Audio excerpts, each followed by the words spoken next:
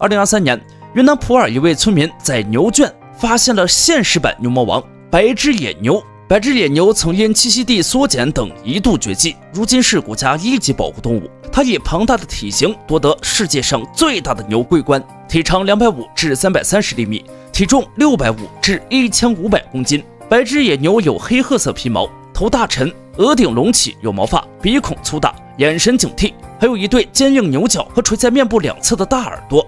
它四肢下部有白色，像四双白袜子，后肢爆发力强。野外极少有天敌。白肢野牛喜欢群居，栖息在热带或亚热带山林，是素食主义者。清晨和傍晚觅食，食量极大且进食鲁莽粗暴。它性情暴躁、警惕、易怒、狂暴，实力强悍，连老虎都要绕道走。